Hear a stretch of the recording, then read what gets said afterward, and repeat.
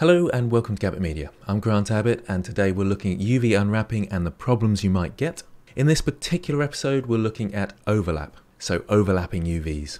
This is all part of the UV unwrapping playlist. This is slightly more advanced, so possibly for intermediate users.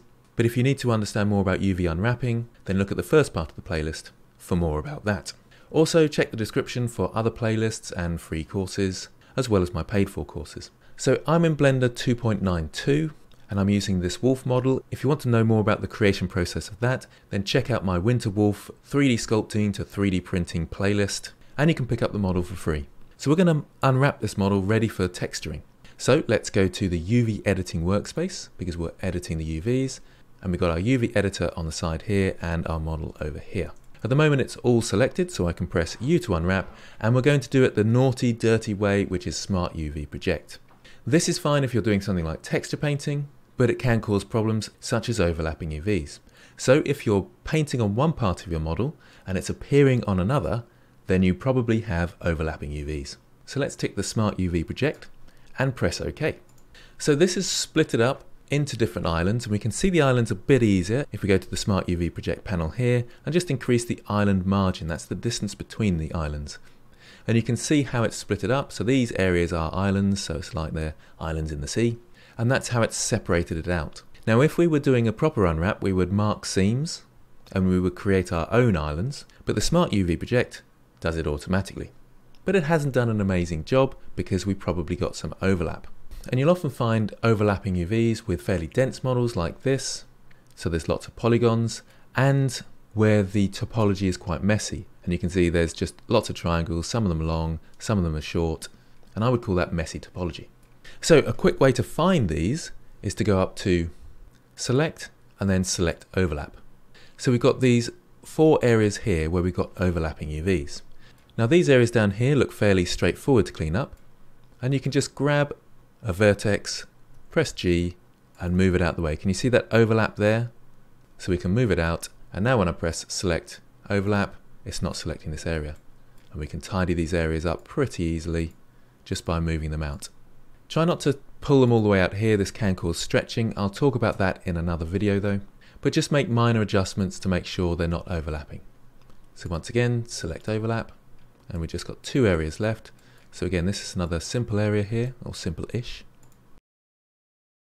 That's making a fairly thin area there, so I'll just grab this one out as well, and we're all okay. So last one, select overlap, and it was this one here.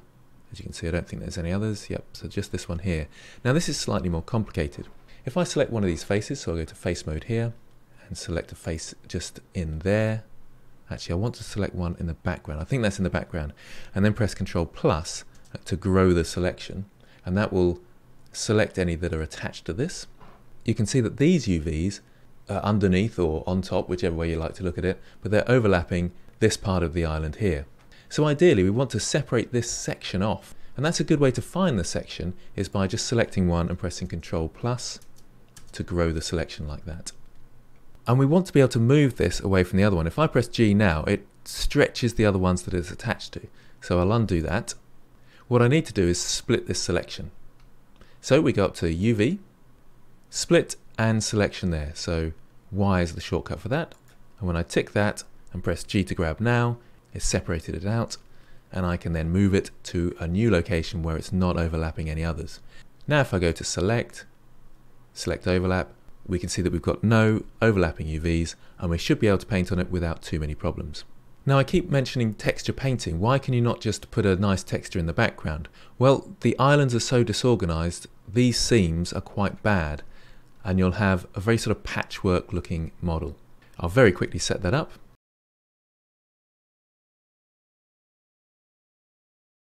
And I'll come back to UV editing and put on Eevee so we can see it. And you can see these nice colored squares here, you can see are really badly spread out on the model. So the Smart UV Project really isn't very useful for just plonking a texture on like this. So if you've got a PBR material that you want to put on, it's going to be very sort of patchy and disorganized. So you need a really good UV unwrap for that and you need to think carefully about where your seams are so that they're almost hidden. So the Smart UV Project I would say is more for texture painting. However, there are ways of tidying it up and organizing it, which I'll talk about in later episodes. So remember, when you unwrap, select overlap and you can find those overlap areas, move them around, cut them up with the split option, so UV and split with those objects selected, and then move those to a different location. So there we are, hopefully that will sort out any overlapping UV problems you have. So thanks for watching, and I'll see you next time.